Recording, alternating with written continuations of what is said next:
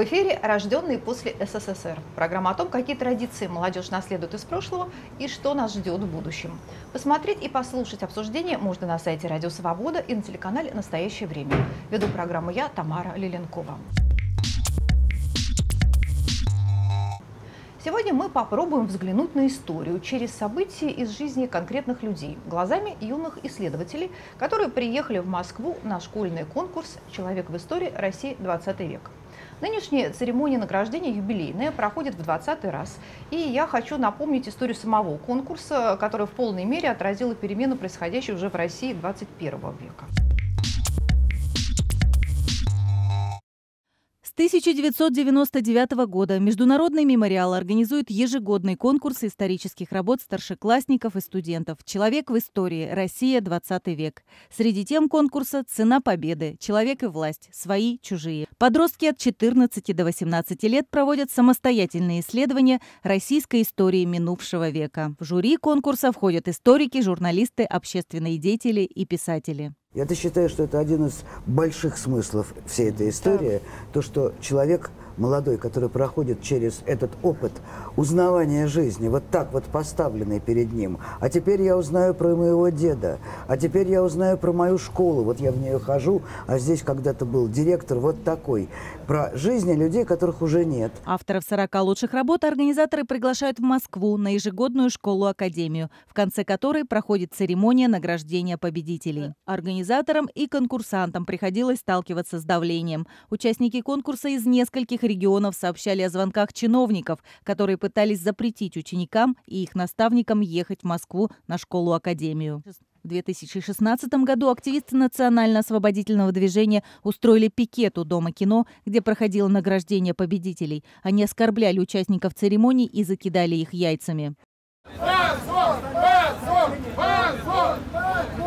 Участники движения «Ноты Серп» в очередной раз пытались сорвать награждение победителей конкурса исторических исследований, который проводит Международное общество «Мемориал» среди старшеклассников. Позор, истории! истории! Такие взрослые. Они не имеют ни малейшего понятия о том, чем занимается «Мемориал». Они никогда не были в «Мемориале», никогда ничего не читали. Мы их видим раз в год. Они приходят ряженые, кричат свои заклинания. Мне кажется, что мы уже даже более-менее к ним привыкли там за сколько? За года за четыре, да?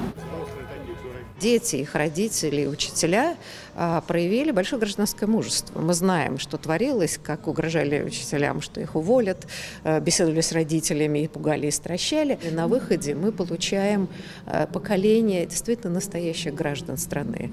Вот не подданных, не верноподданных, а именно граждан.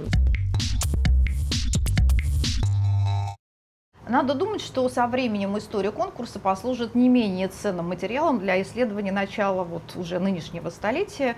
Но мы сегодня вот продолжим говорить э, о веке минувшем. Московской студии историк Ирина Карацуба и участники конкурса Полина Игнатьева из села Каракулина Удмуртии, Григорий Рудяшко, это хутор Габкин, Ростовская область.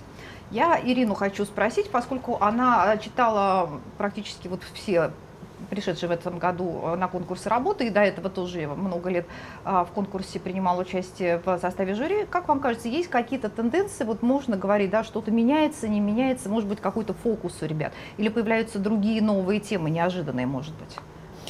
Ну, а, вы знаете, значит, уже 20 лет существует конкурс, да, и я думаю, что этот конкурс наш, он такое наше национальное достояние, такое же, как и мемориал, потому что через него э, прошли, ну, там, около 50 тысяч работ, около 40 вот а, оцифровано, и это один из важнейших архивов для историков, да, и мы, конечно, можем проследить динамику, да, и это не обязательно будет у нас положительная динамика, потому что количество работ, приходящих на конкурс, к сожалению, из года в год сокращается, да, но все-таки сейчас мы имеем дело с а, почти более полутора тысяч работ у нас в этом году.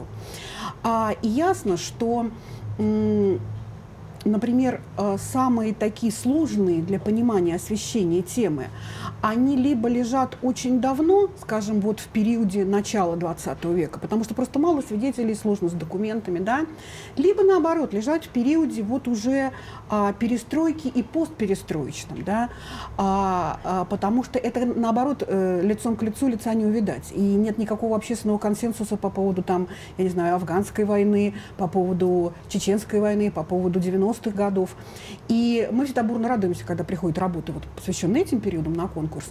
И э, как бы даже ну, стараемся дать им некоторую фору, потому что просто этим редко кто занимается. Да? А, хотя небольшое, но стабильное количество таких работ бывает э, каждый год. А, разумеется, очень много работ, посвященных э, 20-30 годам и прежде всего теме репрессий. Это такая традиционная тема, которая, к сожалению, тоже никуда из нашей жизни не уходит и которая еще нуждается в своем осмыслении. Да, вот нынешняя а, нездоровая популярность э, Сталина и его курса, она же связана с этим, да, с тем, что, собственно говоря, никакой историко-правовой оценки э, сталинскому и шире советскому режиму не дано, да.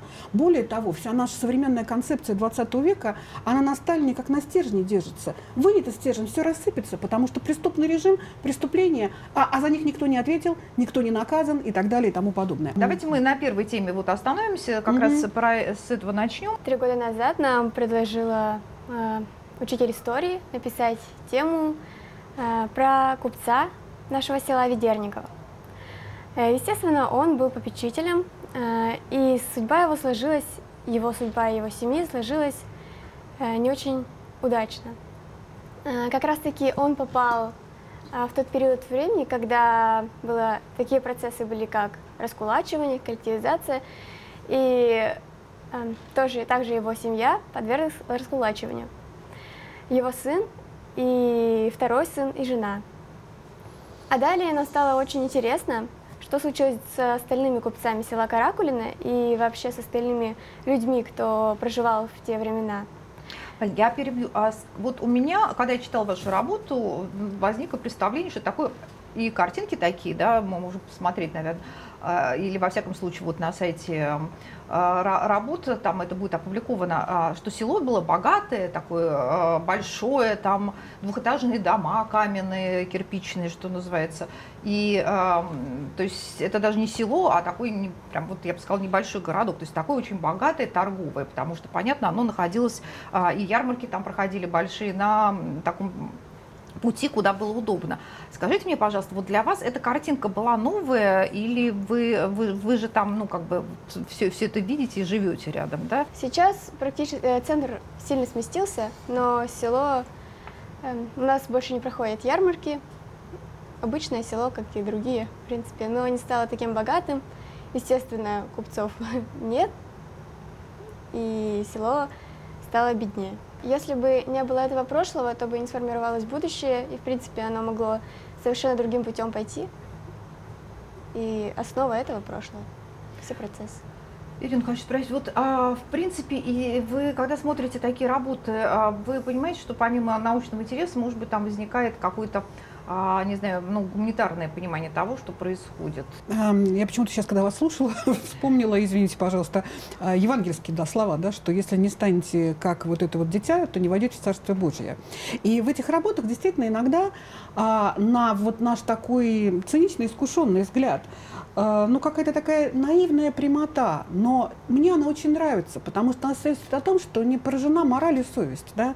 И человек э, не отвык потрясаться, горевать, там, называть трагедию трагедией, да, и не просить там, как наши московские интеллектуалы, там, это дайте этому поколению счастливое забвение. Человек пока, слава богу, не хочет забывать, да, он хочет знать. И вот очень мудрые слова сейчас Полина сказала, да, Полина, вот респект и уважуха, как говорят мои студенты, да, что действительно будущее будущее же, оно не предопределено. Никакого фатализма же нет. Никаких законов истории не существует, все понапридумывали. А будущее – это результат свободной воли человека и того, как бы, что он делает. И если бы коллективизация так называемая пошла бы другим путем или ее бы не было, то и будущее было бы другим, да, и село бы ваше было бы другим, и много чего было бы другим. Вот. И, а это, вот такой взгляд на историю, он редко бывает, да, обычная история то, что было, вот такая антикварная, красивая, да, вот. А связь истории напрямую с сегодняшним днем, да, и влияние вот этой страшной истории загубленных миллионов на сегодняшний день, да, редко понимается. Вот у вас вот эта жуткая деталь в работе, когда рука отрубленная, нарезана как колбаса. Эта деталь скажет больше, чем 10 томов истории Великой Отечественной войны. Да? Вот о степени озверения, да, о степени вот расчеловечивания. И как раз то, что вы делаете, это учеловечивание. То, что делает это мемориальский конкурс, а не расчеловечивание, которое на нас льется а, да сверху, да и снизу. Да. У народной души тоже есть свои потемки. Помимо того, что работы очень большие, действительно, они такие исследовательские, серьезные, а в них много вот а, такого важного, может быть, ну и ужасного в том числе. Да. Вот, Полин, вас спрошу, а что для вас было, может быть, ну таким, не знаю, потрясением, открытием, да, вот из того, что вы увидели или прочитали? Ну, в большей степени это истории семей, то есть отдельная история семей, когда, например, вырывали рубашку из рук матери вместе с ребенком, и ребенок падал на пол и просто разбивался. Или же как э, распинывали детей, просто так же убивали, как убивали женщин и беременных, и инвалидов, всех э, без разбора. То есть я не думала, что это было настолько жестоко, пока я не стала писать эту работу. Еще мы заметили то, что в архивах пишут, что э, мы находили документы о именно документы, что кто-то раскулачивается. И там написано неправильно возраст человека, может даже ошибки в фамилиях, просто потому что люди спешили.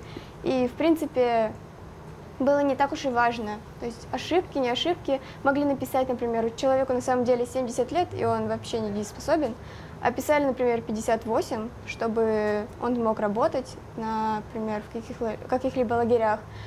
А из-за такой обстановки даже соседи начинали доносить друг на друга просто для того, чтобы на них обратили внимание и подумали, что они очень хорошие, их тоже также не раскулачили. Ребята на самом деле выбирают а, достаточно часто еще темы, связанные со своей семьей, да, то есть это тоже такой личный интерес. Вот мне показалось достаточно большой корпус работ, э, вот как раз таких, да, или это одноклассник, или это кто-то вот из семьи, и в этом тоже такой хороший интерес, потому что это действительно история а, через а, вот какие-то личные судьбы, и она цепляет очень вот сильно.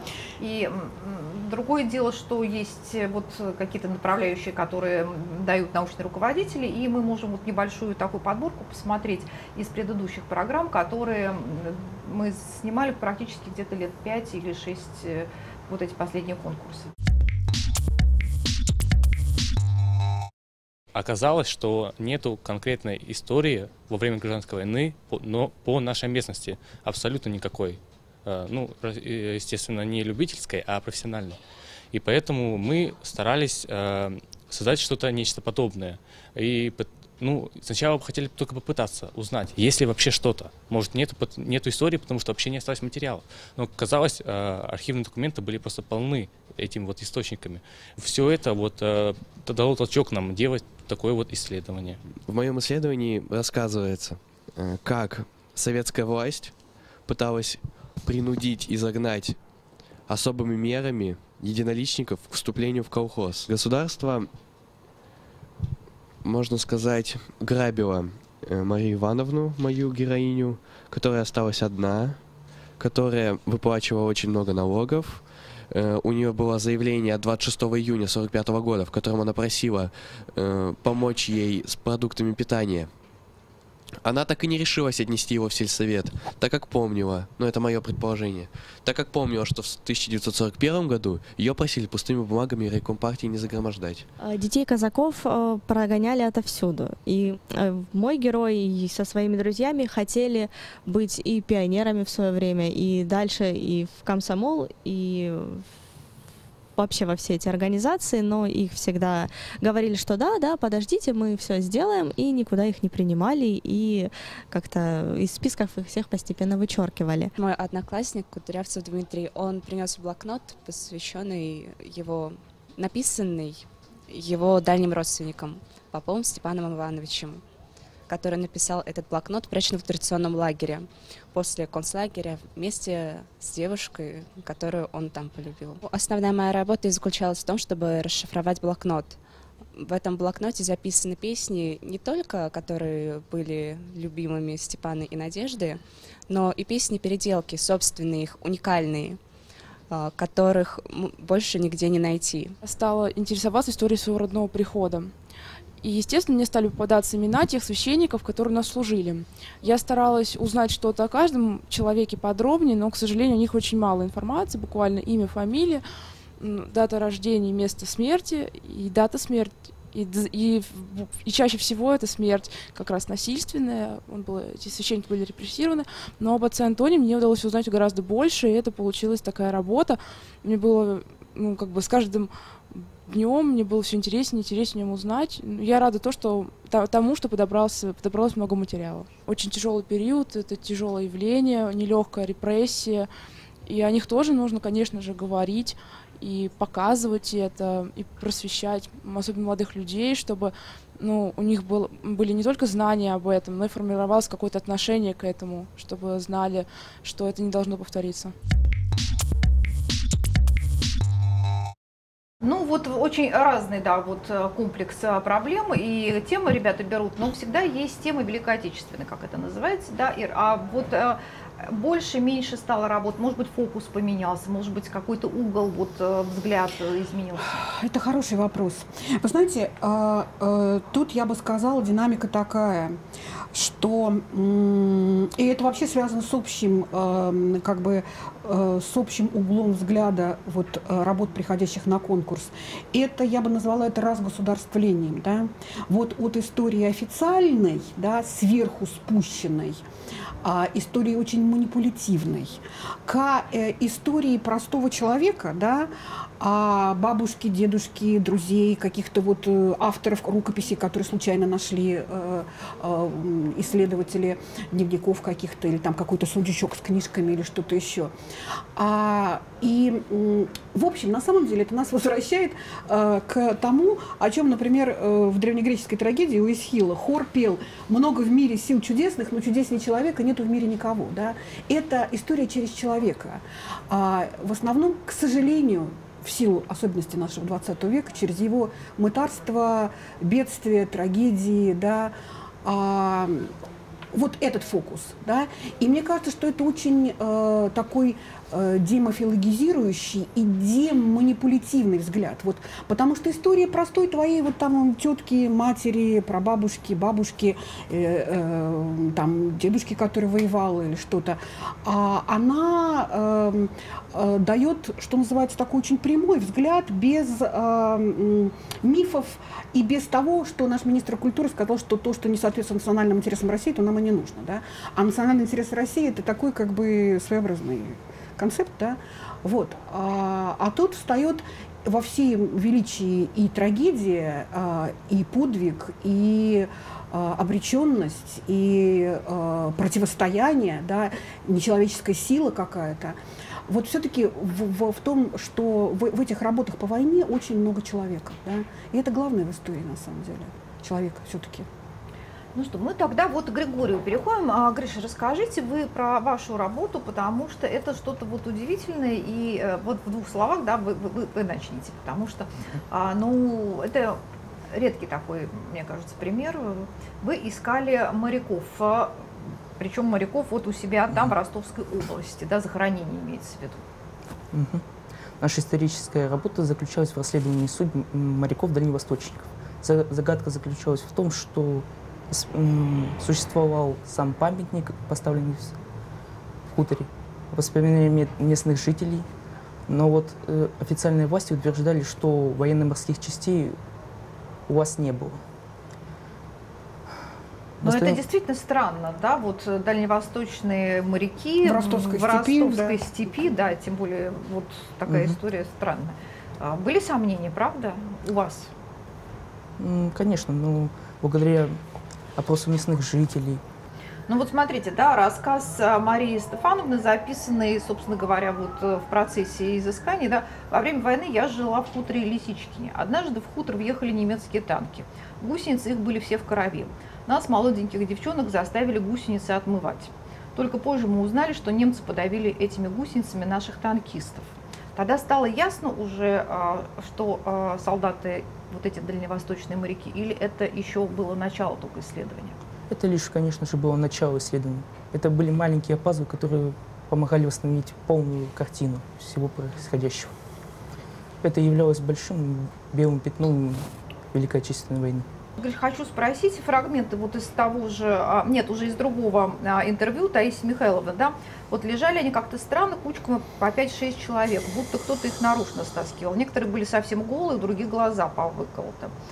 И вот э, такой момент очень, ну, такой мне кажется, вот жесткий для молодых исследователей, да, молодая была, смерти не боялась, все женихов себе выбирала, крикну подружке, Нинка, глянь, какой тебе нравится, и дальше укладывать. То есть это когда они их хоронили, да, был дикий совершенно мороз, и они стаскивали в ров, который был вырод там для каких-то сельских нужд, вот они стаскивали вот а, расстрелянных а, значит, солдат.